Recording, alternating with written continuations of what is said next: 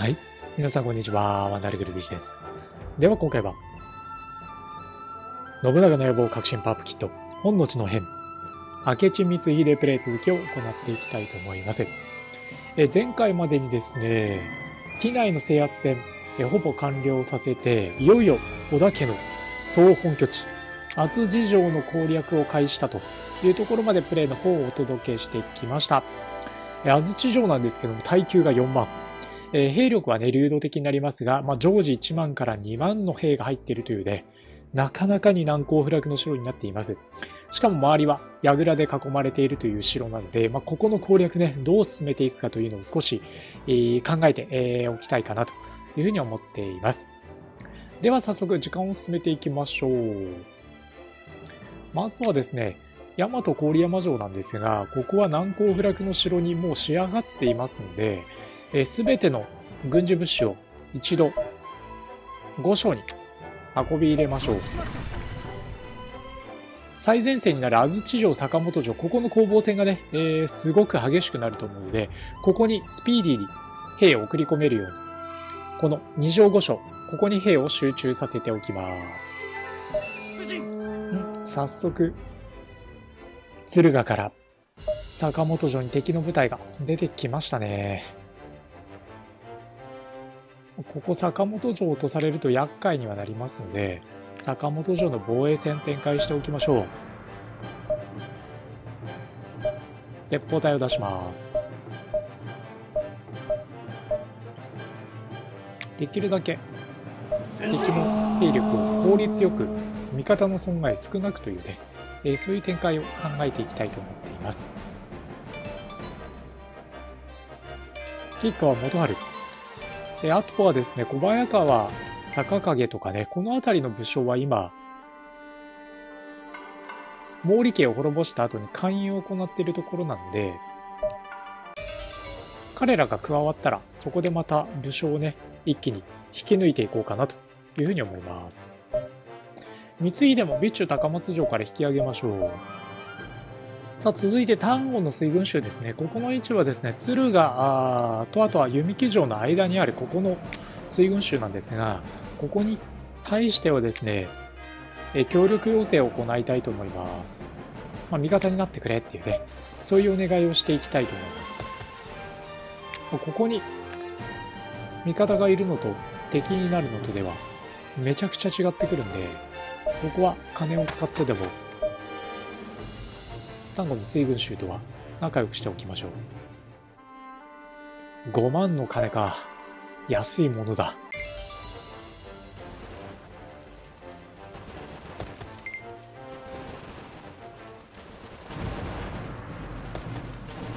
さあ、打ち合いになってます。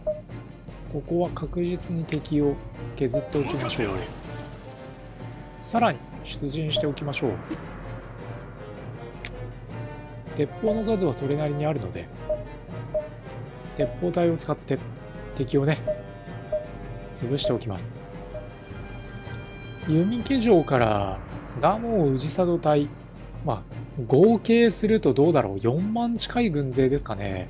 3万オーバーの軍勢が北の省に攻め込もうとしてますね。北の省は柴田の領地。耐久2万兵1万3000これだったらこらえられるかな。特に援軍を差し向けたりとかするのは控えましょう。さあ、敵が混乱している間に一気に、この兵もぶっ倒しちゃいましょう。撤退する敵兵をできるだけ追い込んでいって、壊滅させることができれば一番大文字ですね。まあ、深入りはせずに置きましょう。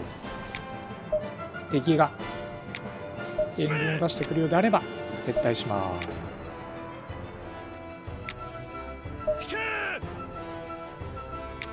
坂本城はすぐに修復を開始。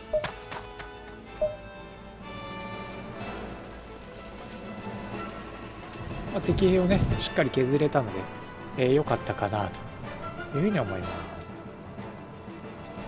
厚地城攻略のためにはとはいえもうちょっと敵の兵を削っておく必要があるので、まあ、周囲をどう固めていくかというのをね一つ考えておきたいと思います。まあ、そうなると固めやすいところで言うと、大和郡山城に敵が進撃してきたら、返す刀で桐山御所、亀山城、この2つの城を取るっていうのはね、えー、有効かなというふうには思うので、そうすると鳥羽の水軍衆とは協定結べるんだったら結びますか？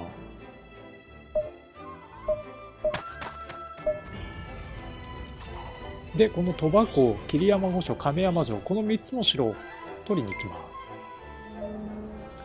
足場軍が弓木城に攻撃を仕掛ける様子なので、これ我々もこうして弓木城の攻略戦を行っていこうかなと思います。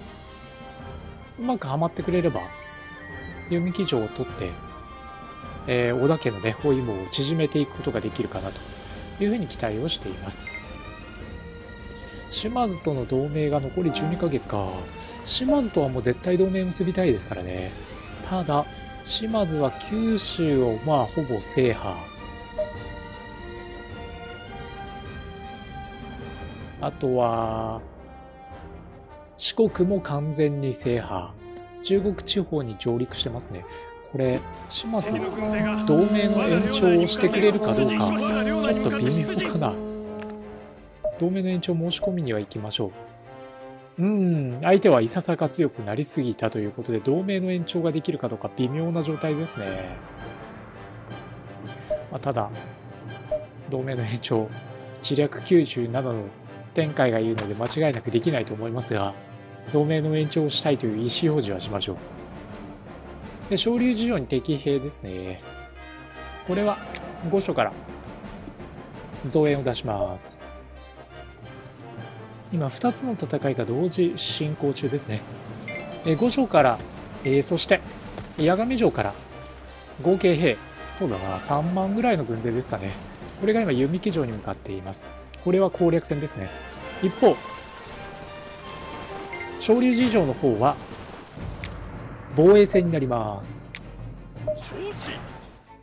島津との同盟延長交渉は失敗ですね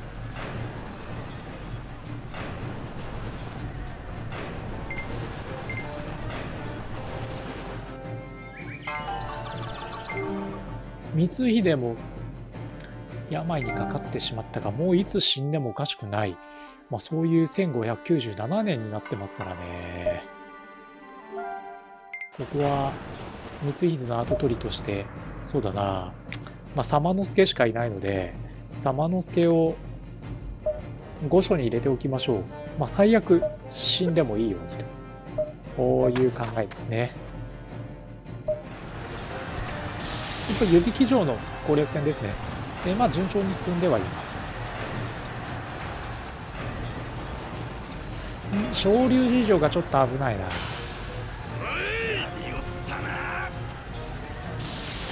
昇竜事情が落とされるリスクがちょっと高まってきましたねこれはこらえきれないぞ昇竜事情がやられる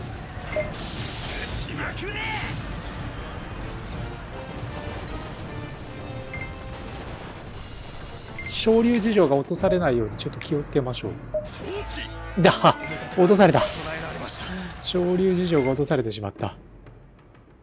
いやー、なかなかしんどいな。そうすると5章から増援を出してこれ、なんとか取り返しましょう。このままというわけにはやっぱりいかないので。お任せをやるな。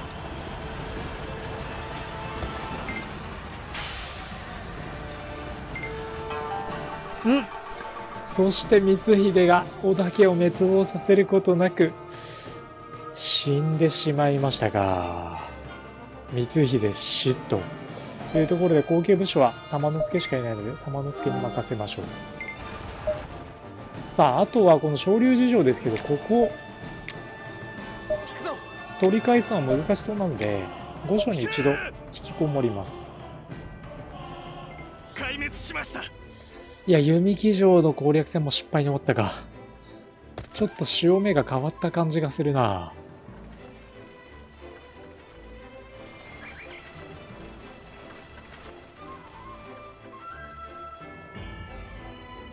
昇竜事情のこの大軍勢をどう相手にするかっていうね。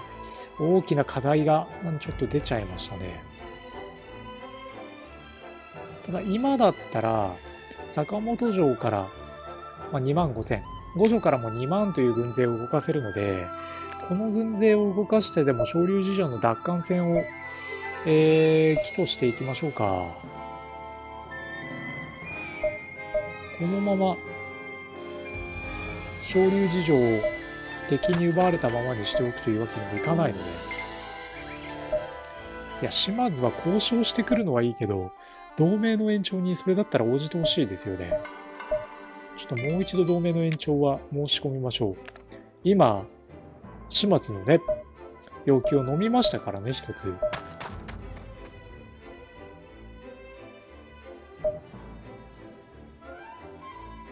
これ、島津との同盟延長に失敗したら事実上ゲームオーバーになると思うので、本当に苦しいけど、なんとかこらえたいですね。さあ、光秀の弔い合戦というわけではないですが、昇竜事情を取りましょう。まあ、因縁の地ではありますからね、昇竜事情はやっぱり。光秀が山崎の戦いで敗れて撤退したのがこの昇竜事情ですね。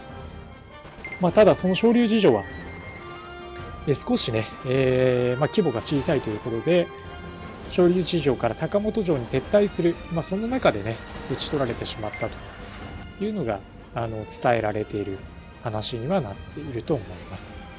さあ、島津とは同盟の延長ができないか。昇竜事情もなかなかどうして苦しそうだな。清水宗春対何もできることなく撤退だな。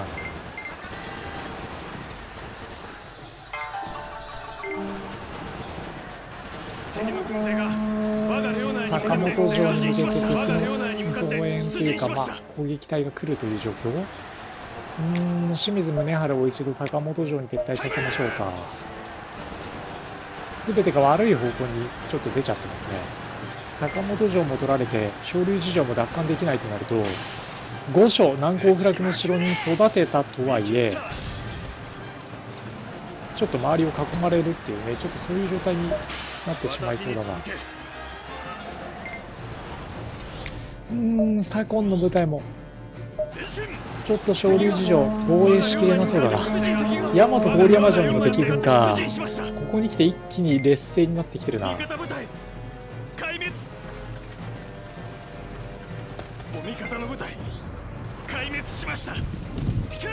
やるな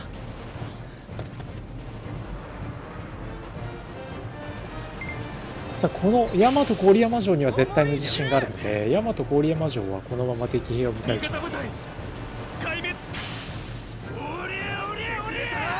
問題は坂本城。ここの防衛だな。坂本城の防衛にも失敗するとなると御所が孤立してしまうのでうわ来たな。早速御所に敵の攻撃隊が来るか。まあ、御所も難攻不落の城に仕立ててはあるのでここでちょっと敵兵を迎え撃ちましょう。大和郡山城と二条五城この2つの城で敵を迎え撃つ。さあ二条五城の防衛戦ですね。織田軍のこの京都の地を奪還されるわけにはいかない。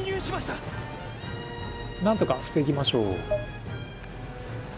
ちょっと危ないのが坂本城ですね。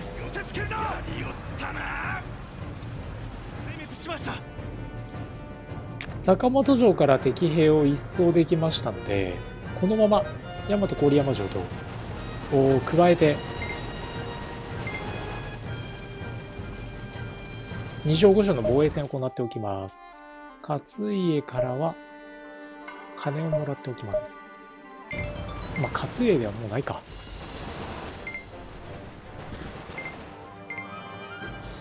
なんとか御所は守りきりましたね。すぐにでも修復を行います。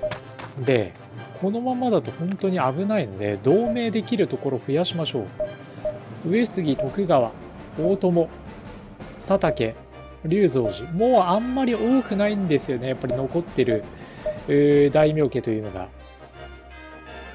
で、マップで見ると、もう東は徳川と伊達の2強。え機内は織田と、そして我々、明智がつばぜり合い。その間に九州、四国、中国地方は島津が飲み込んだという状態ですね。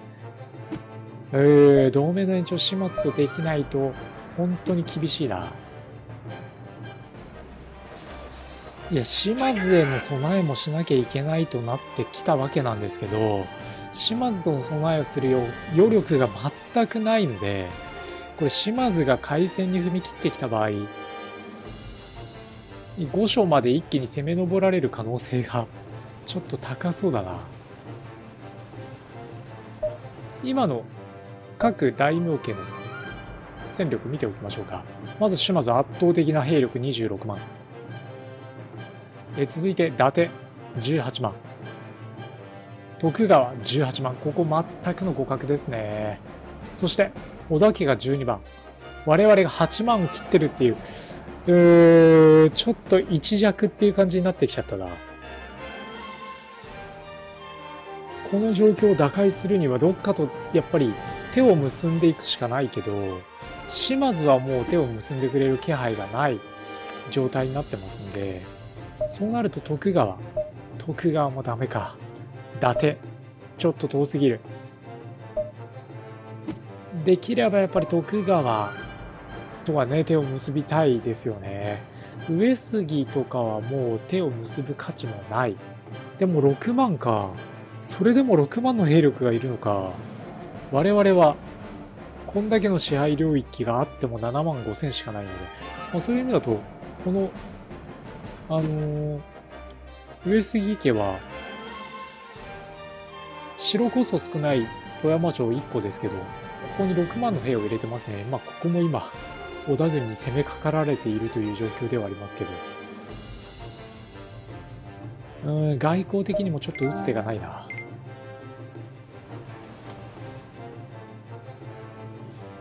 難攻不落のこの大和郡山城と御所にこもるにしてもちょっと厳しそうですね。まああのー、織田家をね滅ぼすことはできないまでも、まあ、一応道筋は見えたのかなとは思いますので、まあ、今回は残念ではありますけども、そしたらこの信長内望革新パッキと明智光秀の本能寺の変プレイは、えここまでにさせていただこうかなと思います。まあ、反省点があるとすればね、序盤にもうちょっと破竹の勢いで織田家を徹底的に叩いておいて、え滅ぼしておく。で、機内から、えー、近江、美濃、終わり。この一帯を支配下に置いておけば、流れは変わったのかなと思います。序盤ちょっともたついてしまったのが良くなかったのかなというね、大きな反省点ですね。えー、信長の野望シリーズは、あの、もうずっと前からプレイしてるものになってますので、えー、もし皆さんからですね、こんなプレイどうかとか、あ企画のアイデアあればですね、ぜひ動画のコメント欄もしくは僕のツイッターの方までお寄せいただければ、え、プレイの方させていただきたいと思いますので、え、よろしくお願いいたします。では今回はここまでにさせていただきたいと思います。